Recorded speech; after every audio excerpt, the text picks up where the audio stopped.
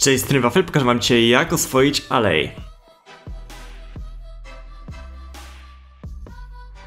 Także można je czasami znaleźć przy outpostach w drewnianych klatkach albo w posiadłości. W posiadłości będzie ich na pewno znacznie więcej, większa szansa. No i musimy znaleźć takie właśnie klatki. Tutaj już z jednej ich wypuściłem, to teraz wypuszczamy ich z drugiej i tu mamy trzech. No i teraz tak, oswajanie jest dosyć nietypowe, bym powiedział, bo tak właściwie to po prostu on za tobą leci, kiedy ma jakiś item. Jeżeli trzymasz jakiś itemek w ręce i klikniesz na jego prawym, to on wtedy ten itemek bierze do łapy i teraz za tobą podąża. Troszkę w dalekiej odległości, ale podąża. Teraz, jeżeli w pobliżu gdzieś będzie leżał taki sam item, to on go znajdzie i mi przyniesie.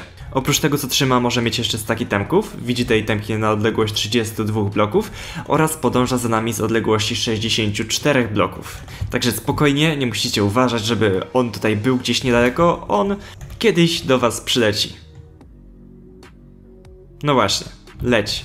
No i teraz nie wiem, zaprowadzacie go gdzieś do domku, on za wami cały czas będzie leciał. No i potem jak macie pustą rękę, to klikacie na niego prawym, żeby ten itemek zabrać.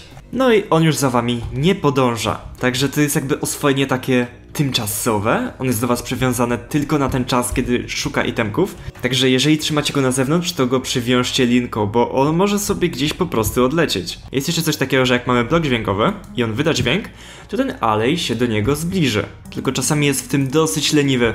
Czasami naprawdę potrzebuje chwili, żeby zauważyć, że coś tutaj gra. No i tak, jeżeli on ma jakiś itemek i go przyzwiemy tym, to on teraz przez 30 sekund jest przywiązany do tego bloku. Nie do nas. Jeżeli wyrzucimy tu jakieś temki, to on ich nie da nam, tylko właśnie wyrzuci je przy tym bloku. Także patrzcie, on teraz sobie zbiera to, co wyrzuciłem, ten cały kobel. Tutaj jeden zgubił, a bo zbiera więcej, zbiera kolejne. No ale tak, wyrzucił tutaj, na blok, nie do mnie. No, ten też zebrał. Wszystko zebrał. Co do jednego. A skoro potrafi przynieść nam tyle fajnych rzeczy, to nazwiemy go wszystko od serca.pl, tak jak sklep marka z różnymi minecraftowymi rzeczami. Wejdź do opisu i sam sprawdź. Dobra, dobra, ale ich liczba jest bardzo ograniczona, one respią się tylko kiedy generuje się świat. Jak je raz zabijesz, to już ich nie będzie, więc jak je rozmnażać?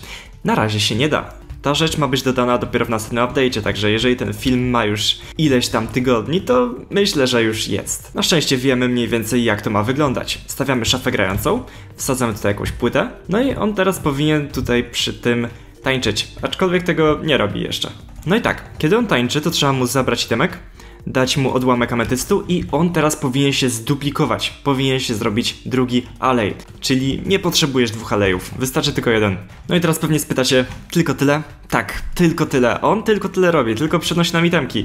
Z jednej strony jest to praktycznie bezużyteczne, bo nigdzie w świecie normalnie nie leżą itemki, ale z drugiej strony w niektórych sytuacjach może to być dosyć przydatne. Na przykład jeżeli umrzecie, to on jest w stanie wam pomóc znaleźć to miejsce, szczególnie po walce z Wardenem. On nam daje efekt ciemności, więc możemy się łatwo zgubić i po prostu nie wiedzieć, gdzie nasze itemy leżą. Zazwyczaj mamy przy sobie takie rzeczy jak, nie wiem, cobblestone, więc wystarczy mu to po prostu dać, no i wtedy on to miejsce znajdzie. Również przy szybkim zbieraniu plonów jesteśmy w stanie czasami po prostu coś przeoczyć i nie zebrać wszystkiego. On nam tutaj wszystko wtedy zbierze. Szczególnie jest to przydatne przy farmie trzciny cukrowej, bo pamiętam, że na jakimś serwerze to było moje główne źródło zarobku i wtedy jak zebrałem, to musiałem się potem wracać i zbierać to, co mi umknęło.